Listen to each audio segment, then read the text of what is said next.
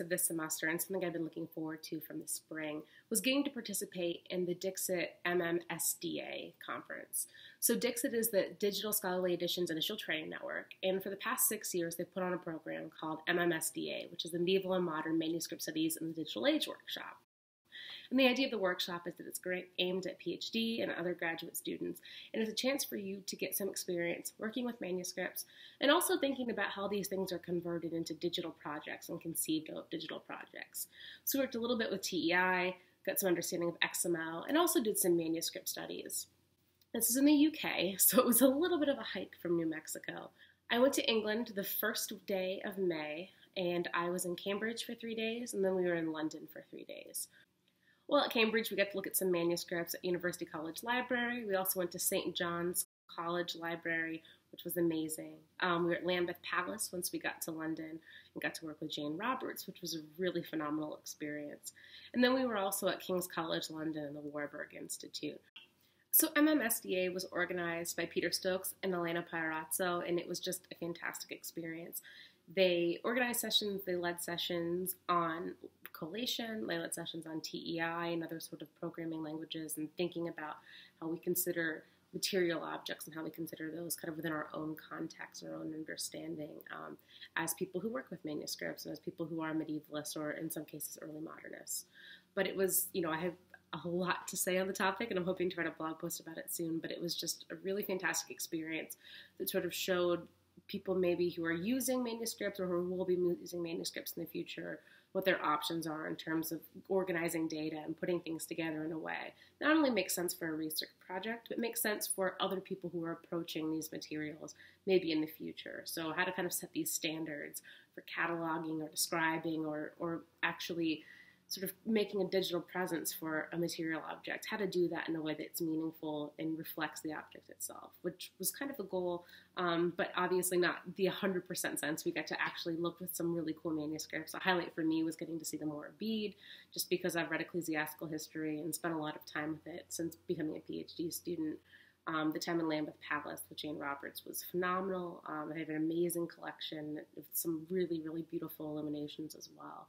But all in all, it was just a fantastic research trip. So after I got back from England, I was in Ohio visiting family for a couple of days before I drove to Michigan for the International Congress on Medieval Studies. This is the 51st one, and it's held every year at Western Michigan University. So here's what the program looks like. And it's really one of the, if not the largest gathering of medievalists in the world. Um, so it's a really large conference. There are a lot of panels going on at the same time. And I presented a panel on Thursday morning, which went really well. Um, it was on a paper that I'd been revising for quite a while. So it was really exciting to finally have it done and be able to share it with the community, and also a little nerve wracking. Um, the panel I was on was the Exeter book panel, and I was one of four papers. We each had about 15 minutes. The other scholars were excellent. There was really great communication and conversation that came as a result of it, and I really walked away feeling like I had learned some things and also kind of got to put my ideas out there, which is really the point of going to conferences. The rest of the time I was there, I was seeing other panels. I was browsing at the book fair, which, if you go to a large conference in your field, can be a lot of fun and also very expensive. Um, but I managed to, to kind of maintain and have some sort of budget and ended up picking up Cynthia Hahn's Strange Beauty, which is excellent. It's a book on relics and reliquaries. And I also got a book on Latin paleography.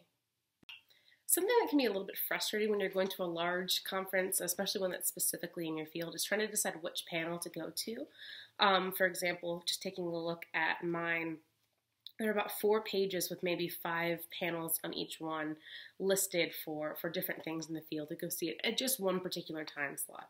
So it was kind of hard to decide what I wanted to see and who I wanted to hear from. So what I ended up doing was in the back on a blank page, and I, I kind of gone through a couple times to refine this list.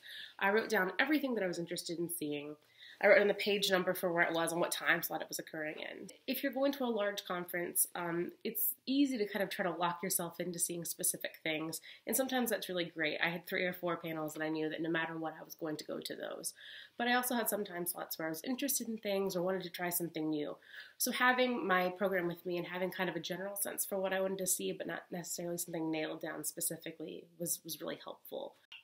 Something that tends to be more an issue for PhD students who are doing courses in America or who are doing PhDs that have a coursework component is trying to balance your own research and what's required for your coursework. So I'm just about ready to finish up my coursework here in the next eight months or so.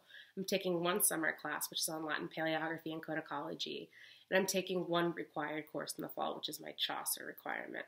Beyond that, I'm done. So the first two, about two and a half years of my degree was coursework, which is awesome because you get to learn a lot of new things. You get to sort of refine your knowledge of something you maybe learned a lot as an undergraduate or as a master's student. But it also can be complicated as you're still trying to develop your own research interests and you're trying to figure out what dissertation direction you might want to take. Um, and that can be especially complicated when you're doing conferences. So, for example, I was in England for a week. I came back to Ohio to visit with some family before I headed to Kalamazoo, which is this international congress. It's, you know, a large degree of, of the faculty and students who are interested in medieval studies attend every year. So I essentially had two weeks, um, or maybe a little bit less than that, where I was doing nothing that was related to my research specifically or my coursework. So I was having to do those things in the evening and trying to keep track of them then. So it really kind of challenged me to plan this semester when I knew I was going to have these things. It challenged me to plan in advance, to know, okay, I'm going to be gone the last two weeks. I need to get everything done in anticipation of that absence.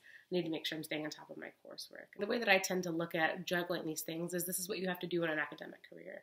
You have your teaching, you have your own research, you have some service components.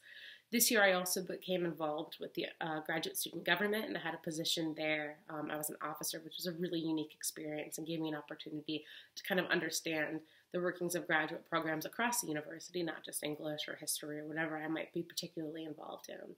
So that was nice. Um, but I'm kind of using this time to prepare myself for what academic life is like after the PhD. So getting involved with service projects refining my own research and also working that research into some of my courses. So this past spring, I taught a writing course, which is sort of our introductory writing courses, or one of those sequence classes. And I also took one where I got to talk about a topic that I was interested in and have my students sort of explore that through writing. Um, we looked at violence and politics, and we sort of looked at it across history, starting with the Crusades and working up through about 9 11. So that was a lot of fun um, and really kind of challenged me to, to stay on top of my teaching, but also incorporate things from my own coursework and my own research into what I was having my students do. Thanks so much for hanging out with me for this update. In the future, you'll be hearing about my exams, probably my dissertation prospectus defense, which will be coming up sometime in the late fall. Um, and I'll be talking about my exam process, how it went, and sort of giving you some tips as to what worked really well for me and what I found less helpful. Thanks so much, and I'll see you next time.